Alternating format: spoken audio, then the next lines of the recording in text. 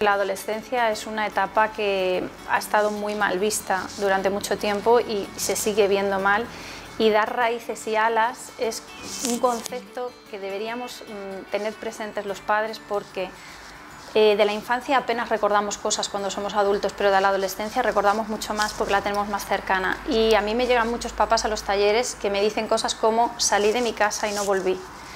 Y nosotros como padres lo que queremos es dar a nuestros hijos unas raíces para que sepan de dónde, ven, de dónde vienen, cuáles son nuestros valores, lo que inculcábamos en nuestra familia, pero también queremos darles alas para que creen la suya propia.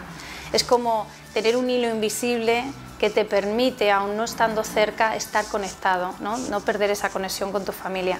Y en la adolescencia es uno de los momentos, o es como la segunda oportunidad que tenemos los padres para recuperar ese vínculo y mejorar la conexión con nuestros hijos. Darles alas porque tienen que volar, nosotros tenemos que pasar al, asiento del copiloto, pasamos como a un segundo plano, pero darles raíces para que recuerden siempre de dónde vinieron y, y dónde, en qué familia fueron acogidos y tengan siempre esa fuerza para seguir adelante.